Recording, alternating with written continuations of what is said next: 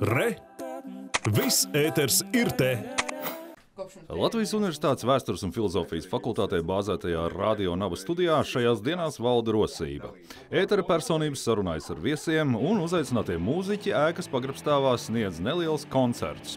Arī grupa Purple Negative, kas piedalās Latvijas alternatīvajā vidē pazīstamās radiostacijas 20 gadu pastāvēšanas svinībās.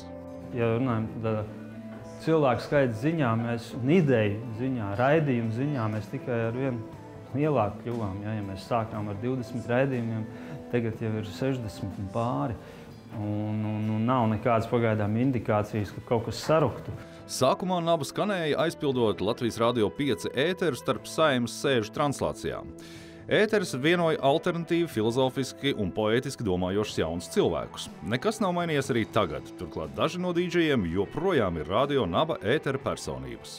Radionam ir kaut kas unikāls, kaut kas saistošs, savienojošs, kaut kas gaisīgs, kosmosīgs. Sākotnēji man šķiet, ka tas ir radio. Taču arvien vairāk esot viņā iekšā, es saprotu, ka tā drīzāk ir tāda, tāda komūna, ja, kas nu, tur spēlē tādu mūziku, varbūt ne tik pieredzinātu.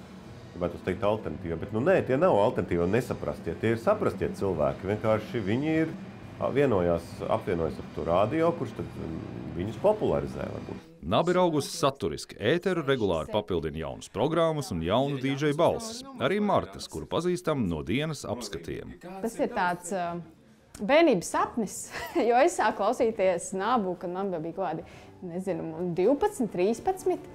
Un, un es vienmēr domāju, cik tas ir fantastiski un kā gribētos tādā kolektīvā, tādā tik fantastiskā vidē būt, tieši meklēja kādu, kas varētu dienas apskatu lasīt. Un visas bumbiņas sakrita un tās nonāca īstenībā.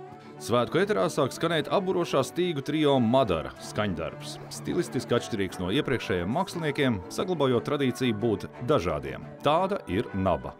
Tur ir N, kas varētu būt nekomerciāls, A tas ir audiāls, B tā ir bauda, Un ā, tā ir akadēmija. Mēs esam tā kā universitāte. Tā ir akadēmija, mācības iestāde. Tātad nekomerciālā, audiālā baudas akadēmija. Nabas 20 gadu svinības turpināsies arī šovakar ar Norvēģijas, Igaunijas un pašmāju grupu koncertu Vagonu hallē.